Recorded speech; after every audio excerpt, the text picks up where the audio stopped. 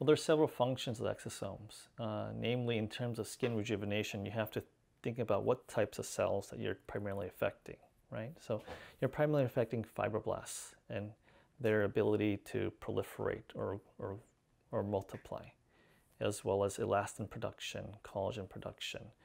And exosomes have been shown to increase cell growth or proliferation of the fibroblasts by up to 80%.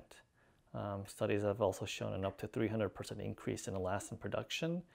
And last but not least, uh, exosomes have been shown to be taken up and increase neocollagenesis by up to sixfold. So undoubtedly, growth factors have been shown through many published articles to stimulate fibroblasts and be beneficial for skin rejuvenation.